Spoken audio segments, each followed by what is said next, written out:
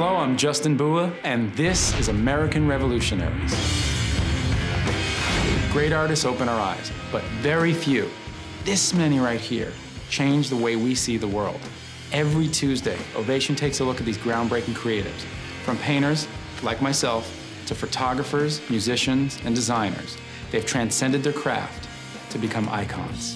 He's one of the most colorful and controversial authors of all time. Truman Capote was known as much for his little voice as he was for his larger than life personality. Capote shot to fame in the late 50s with his novella Breakfast at Tiffany's, and later reached literary superstardom with his groundbreaking true crime novel In Cold Blood. In later years, Capote became a media celebrity. Tonight, you hear Capote discuss, in his own words, his career. I was doing what really amounted to a kind of sociological piece of research. Now, American Revolutionaries presents Truman Capote. Marlon Brando is an absolutely marvelous actor, but he's so dumb it makes your skin crawl. Southern fags are really mean.